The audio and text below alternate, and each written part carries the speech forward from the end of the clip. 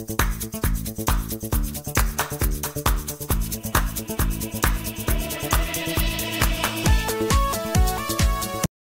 Friends நான் உங்கள் SKA பேசுகிறேன் காஷ்மீருக்கு அனுப்பப்பட்டுள்ள இந்தியாவின் கோப்ரா கமாண்டோஸ்.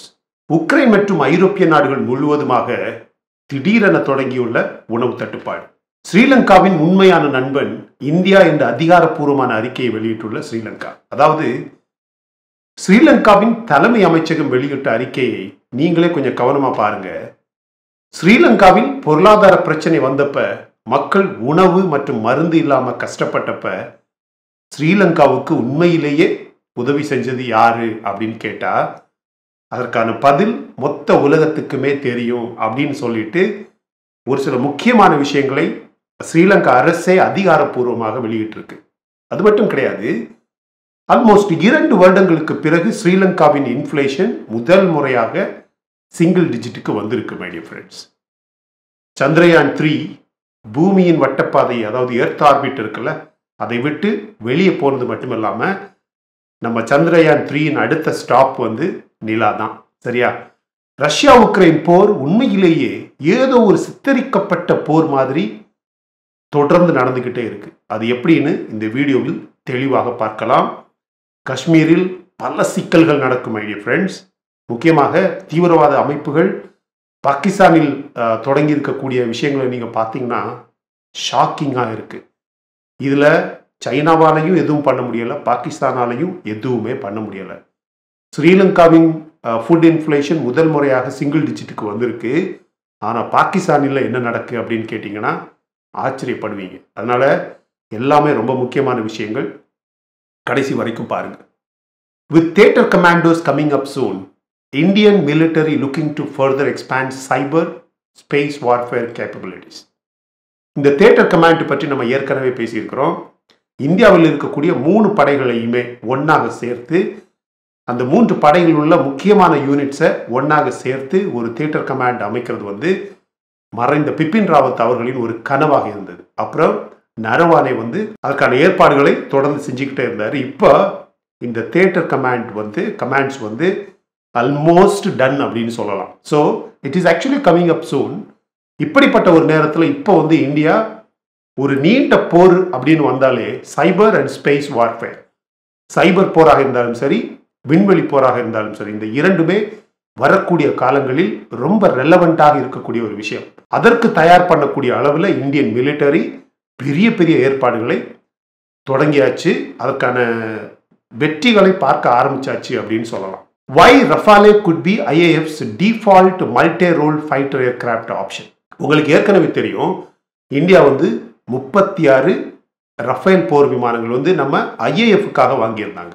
இப்போ அடுத்தது ஒரு செட் ஆஃப் ரஃபாலே எம் நேவிக்கான போர் விமானங்களை வாங்குறதுக்கான எல்லா ஏற்பாடுகளுமே முடிஞ்சிருச்சு. ரெண்டு வாரங்களுக்கு முன்னாடி நம்ம பிரைம் மினிஸ்டர் வந்து ஃப்ரான்ஸுக்கு போயிருந்தப்ப இதுதான் ஹாட் நியூஸாக இருந்துச்சு.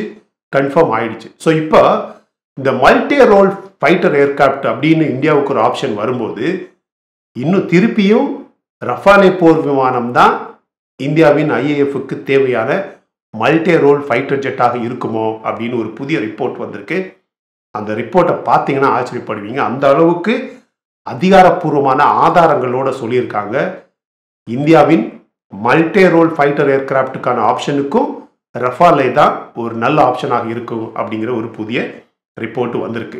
Chandrayaan three leaves Earth's orbit heads towards moon after translunar injection ISRO says next stop the moon முக்கியமான ஒரு கட்டத்தில் இருக்கக்கூடிய சந்திரயான் த்ரீ இன்னும் ஒரு இருபது டேஸ் ஆல்மோஸ்ட் டுவெண்ட்டி டேஸ் இருக்கு.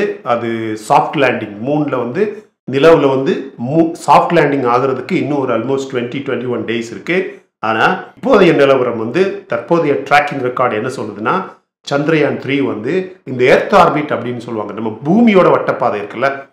ஸோ ஃபர்ஸ்ட் வந்து பூமியோட வட்டப்பாதையை முடிச்சதுக்கு அப்புறம் தான் it can travel towards moon இப்போ வந்து அந்த எர்த் ஆர்பிட்டை விட்டு சந்திரயான் த்ரீ வெளியே வந்துருச்சு. ஆக்சுவலாக it is a soft landing project சரியா? ஒரு சாஃப்ட் லேண்டிங் மிஷன் அதாவது மூணில் வந்து ஒரு சாஃப்ட் லேண்டிங் ஆகணும். அடுத்த ஸ்டாப்பை வந்து மூணு தான். எல்லாமே இதுவரைக்கும் எந்த ஒரு தங்கு தடையும் இன்றி எந்த ஒரு சிக்கலுமே இல்லாமல் தொடர்ந்து போய்கிட்டே இருக்குது அப்படிங்கிற tracking reports very authentic reports வெளிவந்திருக்கு. இதுக்கிடையில் வேறு ஏதாவது நடக்காமல் இருக்கணும் மை டியர் ஃப்ரெண்ட்ஸ் அதாவது திருப்பியும் நான் சொல்கிறது வந்து இதுக்கிடையில் வேறு ஏதாவது எக்ஸ்டர்னல் ஃபோர்ஸ் வந்து ஆக்ட் ஆகாமல் இருக்கணும். ஒரு சில பேரை சொல்ல முடியாது நம்ப முடியாது. நம்ம பக்கத்து நாடாகிய சைனாவாக இருக்கட்டும் அமெரிக்காவாக இருக்கட்டும் இந்த ஸ்பேஸ் ப்ரோக்ராம் இந்தியாவின் ஸ்பேஸ் ப்ரோக்ராம் அப்படின்னு வரும்போது ஆக்சுவலாக ஸ்பேஸ் ப்ரோக்ராம் மட்டும் கிடையாது. இந்த nuclear program atomic program space program அப்படின்னு இந்தியா எப்பப்பெல்லாம் எதெல்லாம் புதிதாக செய்ய ஆரம்பிக்குதோ முயற்சி செய்யுதோ இவனுக்கு ஏதாவது ஒரு தடங்களை கொடுக்கறது உண்டு. இந்த விஷயத்தில் இந்தியாவுக்கு சப்போர்ட் பண்ணக்கூடிய ஒரே நாடு ரஷ்யா மட்டும்தான். சரியா? அதனால் இந்த அமெரிக்கா சைனா இந்த மாதிரி நாடுகளாக இந்த விஷயத்தில் வந்து space program India space program India's nuclear program அப்படின்னு வரும்போது நம்பவே கூடாது friends Indian Air Force uses immersive technology to train cadets Indian soldiers அதாவது ஏர்ஃபோர்ஸ் சோல்ஜர்ஸ் நம்ம இந்திய விமானப்படை வந்து இமர்சிவ் டெக்னாலஜி அதாவது இந்த நம்ம இந்த வர்ச்சுவல் ரியாலிட்டி அப்படிங்கிற அந்த ஹெட்செட்லாம் போட்டு இந்த சிமுலேஷன் இந்த மாதிரி டெக்னாலஜி வந்து இந்தியாவின் விமானப்படை அதிகமாக யூஸ் பண்ணி உண்மையிலேயே போர் பயிற்சி உண்மையான போர் பயிற்சி அதாவது உண்மையான போர்க்களத்தில் போர் நடக்கும்போது எப்படி போர் விமானங்களை பயன்படுத்தணும் அப்படிங்கிற ட்ரைனிங்காக ரியல் டைம் சிமுலேஷன் பயன்படுத்தி நம்ம இந்தியன் சோல்ஜர்ஸை வந்து ட்ரெயின் பண்ணுறாங்க அப்படிங்கிற ஒரு புதிய ரிப்போர்ட் வந்திருக்கு. இன்னொரு பிரேக்கிங் நியூஸ் மைடிய ஃப்ரெண்ட்ஸ் இதுதான் நம்ம இன்னைக்கு டைட்டிலாக சொல்லியிருந்தோம். CRPF cobra commandos to be deployed in Kashmir கடந்த இரண்டு மூணு நாட்களாகவே நம்ம தொடர்ந்து பேசிக்கிட்டே இருக்கிறோம். காஷ்மீரில் ஒரு பெரிய பதட்டம் இருக்கு.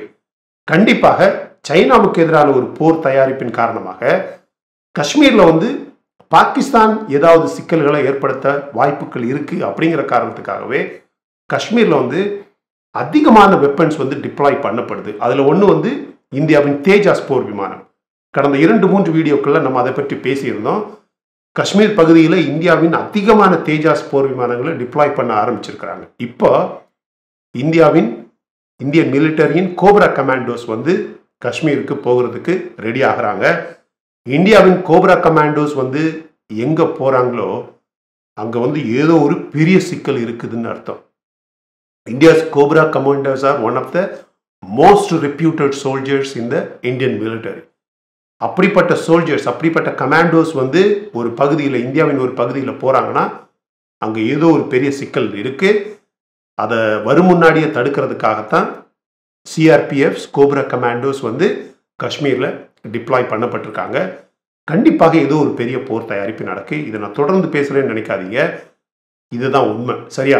Non lapsable fund for defence still in works இதை பற்றி நம்ம பல மாதங்களுக்கு முன்னாடி பேசியிருந்தோம். நான் லேப்சபிள் ஃபண்டுனா இந்தியாவின் மிலிட்டரிக்கு இந்தியாவின் இராணுவம் இந்தியாவின் கப்பற்படை இந்தியாவின் விமானப்படை இந்த மூணு படைகளுக்குமே எமர்ஜென்சி அப்படிங்கிற பேசிஸில் வந்து ஏதாவது ஆயுதங்களை வாங்குறதுக்கோ ஏதாவது ஆயுதங்களை ரீஃபில் பண்ணுறதுக்கோ பணம் தேவைப்பட்டுச்சுன்னா நம்ம மிலிட்டரியே நம்ம அரசாங்கத்திடம் கேட்காம அதற்கான ஃபண்டை வந்து செலவு செய்யலாம். அதற்கான ஏற்பாடுகளை செய்யலாம். இது வந்து ஒரு குறிப்பிட்ட விண்டோவில் கொடுக்கப்படக்கூடிய ஒரு ஃபண்டு ஆனால் இந்த அந்த விண்டோ முடிஞ்சதுக்கு அப்புறம் கூட இந்தியாவின் இராணுவத்திற்கு இன்னும் கூட நான் லேப்சபிள் ஃபண்ட் வந்து தயாராக இருக்குது அந்த நான் லேப்சபிள் ஃபண்ட் வந்து ஆக்டிவாக இருக்குது அப்படிங்கிற ஒரு பிரேக்கிங் நியூஸ் வந்திருக்கு. இந்த மாதிரியான செய்திகளை சைனா அமெரிக்கா போன்ற நாடுகள் கேள்விப்பட்டாங்கன்னா பாகிஸ்தான் கேள்விப்படுறதுனால எந்த ஒரு பிரயோஜனமும் கிடையாது.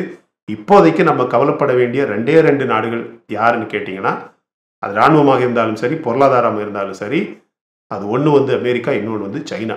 ஸோ இந்தியா போன்ற ஒரு பெரிய வளரக்கூடிய பொருளாதாரத்துக்கு நான் லேப்சபிள் ஃபண்ட் ஃபார் மிலிட்டரி இருக்குங்கிறது வந்து சைனா அமெரிக்கா போன்ற நாடுகளுக்கு ஒரு பெரிய கவலைக்கான விஷயம். அதனால் இந்த விஷயத்தில் நம்ம அரசு வந்து ரொம்ப கவனமாக இருக்கணும். என்ன கேட்டிங்கன்னா இந்த நான் லேப்சபிள் ஃபண்ட் ஸ்கீம் வந்து நம்ம டிஃபென்ஸுக்கு நம்ம மிலிட்டரிக்கு இன்னும் கூட அவைலபிளாக இருக்கு அப்படிங்கிற செய்தியை உலகளவில் ஒரு செய்தியாக அதை ஒரு வெளிப்படையான ஒரு விஷயமாக பேசக்கூடிய தேவையே இல்லை அப்படிங்கிறது தான் என்னோட கருத்து.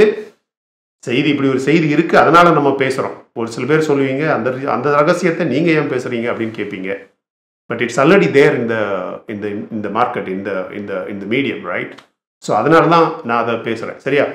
China to work with Pakistan to build CPEC into exemplary project Jinping இதை விட காமெடி இந்த வீடியோவில் இருக்க முடியாது. சரியா? சிபிஇசி வந்து எப்போ டெட்டுன்னு சொல்லிட்டானுங்க. சரியா? நீங்கள் நேற்று பார்த்துருந்தீங்கன்னா தெரியும். ஸ்பெயின் நாட்டோட டிஃபென்ஸ் மினிஸ்டர் வந்து ஒரு செய்தி வெளியிட்டிருந்தார். நான் இதை பற்றி வீடியோ நேற்று வீடியோ பதிவு பண்ணியிருந்தோம்னா இதை பற்றி பேசணும் அப்படின்னு யோசிச்சுக்கிட்டே இருந்தேன். ஸ்பெயினா இட்டாலியான்னு தெரியல. ஸ்பெயின் தான் நினைக்கிறேன். ஸ்பெயினோட டிஃபென்ஸ் மினிஸ்டர் ஒரு செய்தி வெளியிட்டிருந்தார். சைனாவோட சிபிஇசி ப்ராஜெக்டில் பிஆர்ஐ திட்டத்தில் பார்ட்டிசிபேட் பண்ணது வந்து ஸ்பெயின் செஞ்ச ஒரு பெரிய பாவம் அப்படின்னு பேசியிருந்தார்.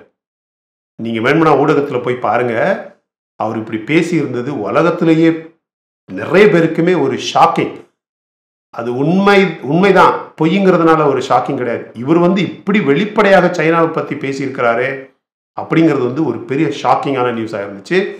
இப்போ வந்திருக்க நியூஸ் வந்து சைனா திடீர்னு ஜிங்பிங் சொல்கிறாரு China to work with Pakistan to build CPEC into exemplary project அந்த நாடு எப்போ ஒரு நாடே இல்லை அப்படிங்கிற அனௌன்ஸ்மெண்ட்டு வரும் அப்படின்னு எல்லாரும் எதிர்பார்த்துட்டு இருக்கக்கூடிய நாடு நேரத்தில்.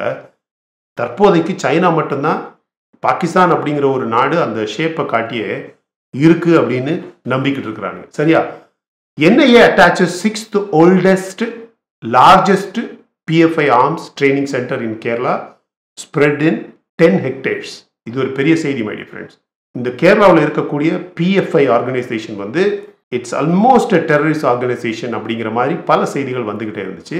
கொஞ்ச காலமாகவே இது உண்மையிலேயே இவங்களுக்கும் தீவிரவாத அமைப்புகளுக்கும் கனெக்ஷன்ஸ் இருக்கா அப்படிங்கிறத ப்ரூவ் பண்ணுறதுக்கே நம்ம நாட்டில் உள்ள அரசாங்கமும் என்ஐஏயும் ரொம்ப கஷ்டப்பட்டாங்க.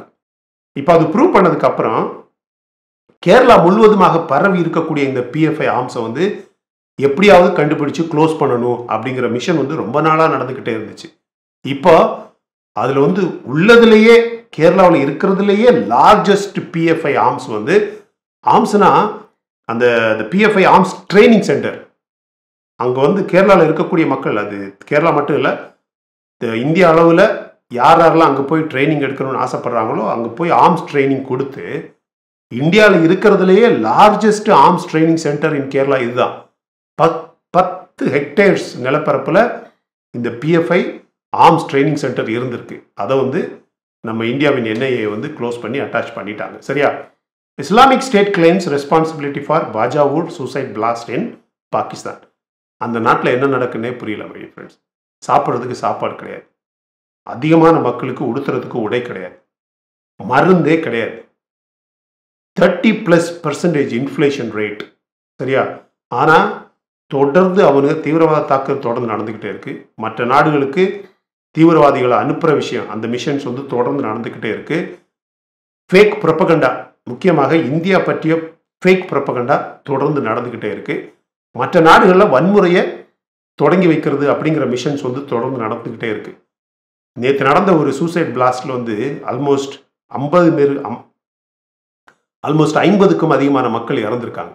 இப்படிப்பட்ட ஒரு நாடு வரைபடத்தில் இருந்தா என்ன இல்லைனா என்ன? இப்படிப்பட்ட ஒரு நேரத்தில் நான் சொன்னேன்ல Pakistan intruder shot dead in Jammu and Kashmir Arnia sector ஒரு நாடே இன்னொரு ஒரு குறிப்பிட்ட மாதங்களில் இருக்குமா இல்லையா அப்படிங்கிற சந்தேகம் இருக்கக்கூடிய நேரத்தில் அந்த நாட்டில் உள்ள தீவிரவாதிகள் மட்டும் நம்ம நாட்டுக்கு முக்கியமாக ஜம்மு அண்ட் காஷ்மீர் வழியாக தொடர்ந்து வர்றது எவ்வளோ கேவலமான விஷயம் பாருங்க. இன்னைக்கு ஒரு பாகிஸ்தான் இன்ட்ரூடரை வந்து அப்படியே உயிரோட சுட்டு கொன்னிருக்காங்க ஜம்மு அண்ட் காஷ்மீரில் India hands over humanitarian aid to Ukraine okay உண்மையிலேயே ரஷ்யா உக்ரைன் போர் என்ன காரணம் என்ன ஃபிலாசபி என்ன ஐடியாலஜிக்கல் டிஃப்ரென்சஸ் என்னதான் இருந்தாலும் அந்த நாட்டில் மக்கள் கஷ்டப்படுறாங்க. சரியா? அந்த நாட்டில் இருக்கக்கூடிய தீவிரவாதிகளை ஒரு பக்கம் வைங்க. அந்த நாட்டில் இருக்கக்கூடிய நியாயமான முறையில் ஒரு சில மக்கள் ரொம்ப கஷ்டப்படுறாங்க. அந்த மக்களுக்காக இந்தியா ஹியூமானிட்டேரியன் எய்டு கொடுத்துருக்கு உதவி கொடுத்துருக்காங்க. மனிதாபிமான உதவி. இது கொடுக்கறது உண்மையா தேவையா? இதெல்லாம் ஏன் செய்யணும்? அப்படின்னு உங்களிலேயே பலருக்கும் பலவிதமான கருத்துக்கள் இருக்கும்.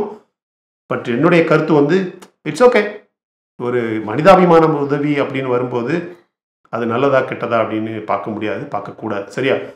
BSF shoots down drone along Pakistan border narcotics seized போதைப் பொருட்களை பாகிஸ்தான்லேருந்து நம்ம நாட்டுக்கு ட்ரோன்ஸ் வழியாக அனுப்பக்கூடிய பல விஷயங்களை பல நம்பர் ஆஃப் இன்ஸ்டன்சஸ் வந்து இந்தியாவின் பார்டர் செக்யூரிட்டி ஃபோர்ஸ் வந்து ஷூட் பண்ணி அழிச்சுக்கிட்டே இருக்காங்க வெடி ஃப்ரெண்ட்ஸ் இதுதான் நான் திருப்பி திருப்பி சொல்கிறேன் அந்த நாடே இருக்குமா இருக்காதான்னு தெரில ஆனால் நம்ம நாட்டுக்கு மேலே ஏதாவது குறி வச்சுக்கிட்டே இருக்கிறாங்க. சரியா? போதைப் பொருட்களை. அந்த நாட்டில் பணம் இல்லை ஃப்ரெண்ட்ஸ் சரியா? அந்த நாட்டிலேருந்து மற்ற நாடுகளுக்கு விற்கிற மாதிரி அந்த நாட்டில் வேறு எதுவுமே கிடையாது எக்ஸப்ட் அவுட் போதைப் பொருட்களை தவிர அந்த நாட்டில் மற்ற நாடுகளுக்கு வியாபாரம் செய்கிற மாதிரி எதுவுமே கிடையாது. இந்தியா போன்ற நாட்டில் வந்து இதை வந்து லீகலாக இவனுங்க பண்ண முடியாது. அதனால இல்லீகலாக பண்ணணும் அப்படிங்கிறதுக்காக நம்ம பார்டரை பயன்படுத்தி ட்ரோன் பயன்படுத்தி அந்த நார்கோட்டிக்ஸை வந்து நம்ம நாட்டுக்குள்ளே அனுப்ப முயற்சி பண்ணுறாங்க daily tens and tens of drones வந்து நம்ம BSF border security force uh, இருக்குது பார்த்தீங்களா அந்த படையினால் சுட்டு தள்ளி அழிச்சுக்கிட்டே இருக்காங்க. சரியா? Continued threats to Pakistan financial sustainability despite IMF deal ஒரு ரெண்டு மூணு நாளாகவே ஒரு சில பேர் என்னோட வீடியோஸ் கமெண்டில் ஒரு சில பேர் சொல்லிக்கிட்டே இருக்கிறானுங்க. நீங்கள் சொன்னீங்க ஐஎம்எஃப் பாகிஸ்தானுக்கு உதவி செய்யாது உதவி செய்யாது. நான் அப்படி சொல்லவே இல்லை. ஐஎம்எஃப் உதவி செய்யாது செய்யும் அப்படின்னு பேசுகிற நேரமெல்லாம் பாகிஸ்தான் அமெரிக்கா இந்த ரெண்டு நாடுகளை பற்றி நம்ம அடிக்கடி பேசியிருக்கிறோம். அமெரிக்காவை நம்பக்கூடாது. இந்தியாவையும் பாகிஸ்தானையும் ஒரே தராசில் வச்சு பாகிஸ்தானுக்கு என்ன செய்யணுமோ அதை செஞ்சுக்கிட்டே தான் இருப்பானுங்க. ஐஎம்எஃப் வந்து பாகிஸ்தானுக்கு உதவி செய்யுதுன்னா அது ஐஎம்எஃப் அப்படிங்கிற ஒரு ஆர்கனைசேஷன் கிடையாது. அது அமெரிக்கா செய்யக்கூடிய உதவி அப்படின்னு பல முறை நானே பேசியிருக்கிறேன். இவனுக்கு வேற வேலை இல்லாமல் நீங்கள் ஐஎம்எஃப் உதவி செய்யாது அப்படின்னு சொன்னீங்க. இப்போ உதவி செஞ்சிருக்கு. என்ன சொல்கிறது இப்போ ஐஎம்எஃப் உதவி செஞ்சிருக்கு. அதனால் என்ன பிரயோஜனம்? IMF packages foreign bailouts will not suffice to keep Pakistan economy afloat IMF மாதிரி இன்னும் நூறு ஆர்கனைசேஷன் பாகிஸ்தானுக்கு உதவி செஞ்சாலும் பாகிஸ்தான் பொருளாதாரத்தை இனிமே யாருமே காப்பாற்ற முடியாது. During economic crisis everyone became aware who is our real friend ஸ்ரீலங்காவின் இந்த மினிஸ்டர் குழு அந்த அமைப்பு வந்து ஒரு ரிப்போர்ட் வெளியிட்டிருக்காங்க. எங்களுக்கு கஷ்டம் வந்தப்ப எங்களுக்கு பொருளாதார சிக்கல் வந்தப்ப ஸ்ரீலங்காவுக்கு உதவி செஞ்சது யார் அப்படின்னு மொத்த உலகத்துக்குமே தெரியும். India is our real friend India இல்லாமல் இருந்துருச்சுன்னா ஸ்ரீலங்கா அப்படிங்கிற ஒரு நாடே இன்னைக்கு இல்லாமல் இருந்திருக்கும் அப்படின்ற மாதிரி அப்படிங்கிற அர்த்தத்தில் two digit I mean extreme highest two டிஜிட்டில் இருந்த இன்ஃப்ளேஷனை இன்னைக்கு for the first time Sri Lanka's inflation drops to single digit levels in July இந்த ஜூலை மாதத்தில் முதல் முறையாக ஸ்ரீலங்காவின் விலையேற்றம் வந்து சிங்கிள் டிஜிட்டுக்கு கீழே அதாவது சிங்கிள் டிஜிட்டில் கீழே வந்திருக்கு. சரியா? ஆல்மோஸ்ட் இருபத்தி ஐந்து முப்பது பர்சன்டேஜ் முப்பத்தி ஐந்து பர்சன்டேஜ் ஒரு குறிப்பிட்ட டைமில் ஐம்பத்தி ஆறு பர்சன்டேஜ் வரைக்கும் போன இன்ஃப்ளேஷன் இன்னைக்கு சிங்கிள் டிஜிட்டில் வந்திருக்குன்னா அதுக்கு காரணம் இந்தியா தான் அப்படிங்கிற ஒரு பெரிய ரிப்போர்ட்டை ஸ்ரீலங்கா அதிகாரப்பூர்வமாக இப்படி ஒரு ஸ்டேட்மெண்ட்டை வெளியிடுறது எவ்வளோ பெரிய விஷயம்? என்னது? இந்த பேண்டமிக் தொடங்கினதுக்கு அப்புறம் ஸ்ரீலங்காவுக்கு பொருளாதார சிக்கல் சாப்பாடு உணவு உடை வீடுகள் அப்படின்னு இல்லாமல் இருந்த நேரத்தில் எங்களுக்கு உதவி செஞ்சது யாருன்னு உலகத்துக்கு தெரியாதா அப்படின்னு ஒரு நாடே வந்து அதிகாரப்பூர்வமாக ஒரு ரிப்போர்ட் வெளியிடுறது வந்து சாதாரண விஷயம் இல்லை ஃப்ரெண்ட்ஸ் இதை பற்றி நீங்கள் என்ன நினைக்கிறீங்க அப்படிங்கிறத உங்களில் ஒரு சில பேருக்கு கண்டிப்பாக கேள்விகள் வரும். ஸ்ரீலங்காவுக்கு இந்தியா ஏன் உதவி செய்யணும்? அப்படிலாம் யோசிக்காதீங்க. அட்லீஸ்ட் ஸ்ரீலங்கா அதிகாரப்பூர்வமாக இப்படி ஒரு ரிப்போர்ட்டை வெளியிட்டிருக்கு பார்த்தீங்களா அதுக்காக கண்டிப்பாக நீங்கள் அவங்கள பாராட்டணும். இந்த உதவி ஸ்ரீலங்கா இப்படி சொல்கிறது அதை பற்றி நீங்கள் என்ன நினைக்கிறீங்க அப்படிங்கிறத கமெண்ட் செக்ஷனில் பதிவு பண்ண மறந்துடாதீங்க. இந்த ஸ்ரீலங்கா இந்தியா இந்த உறவு ஸ்ரீலங்காவுக்கு இந்தியா செஞ்ச உதவி இது பற்றி மக்கள் கண்டிப்பாக தெரிஞ்சிருக்கணும். அதனால் ஷேர் பண்ணுங்கள் பார்த்துட்டு அப்படி விட்டுறாதீங்க. ஷேர் பண்ணுங்கள் இந்த வீடியோ உங்களுக்கு பிடிச்சிருந்தா லைக் பண்ணுங்கள் இன்னும் நம்ம சேனலை சப்ஸ்கிரைப் பண்ணலைன்னா மற்ற வீடியோஸ் பாருங்கள் உங்களுக்கு கண்டிப்பாக பிடிக்கும். பிடிச்சிருந்தா உங்களுக்கு தேவைப்பட்டால் மட்டும் சப்ஸ்கிரைப் பண்ணால் போதும் my friends Thank you so much, my dear friends, for watching all my videos and supporting my channel. Until I come back with my next awesome video, it's bye bye from Suresh. Uh, stay safe, stay positive, stay active, and stay fit. And always dream big in your life. நம்மளால் எப்போவுமே எதையுமே எங்கேயுமே சாதிக்க முடியும் அப்படின்னு நம்ம first நம்பணும் my dear friends and as I always say please take care of your parents at home உங்கள் அப்பா அம்மாவை உங்கள் வீட்டிலே வச்சு நல்ல சந்தோஷமாக பார்த்துக்குங்க ஃப்ரெண்ட்ஸ் தேங்க்யூ